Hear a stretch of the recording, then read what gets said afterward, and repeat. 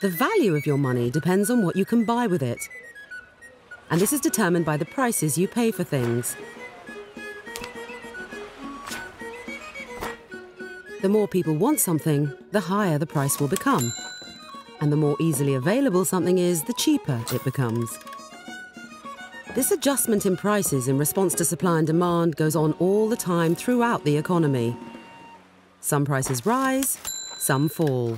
That's normal. However, if there's too much money in the economy as a whole, with spenders wanting to buy more things than can be produced, then everything can start to cost more. Demand outstrips supply, prices in general rise, and the value of money decreases. That's inflation.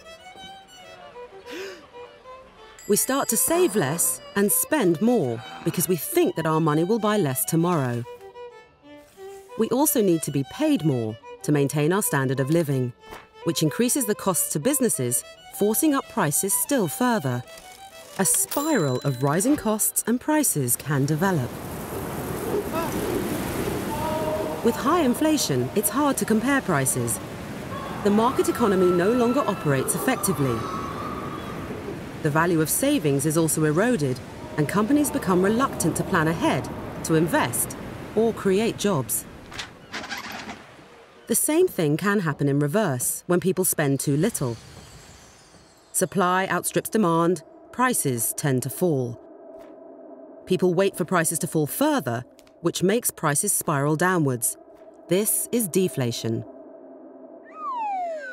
Both circumstances are bad for the economy, business, and people. It is the Bank of England's job to keep prices stable, maintaining the value of our money.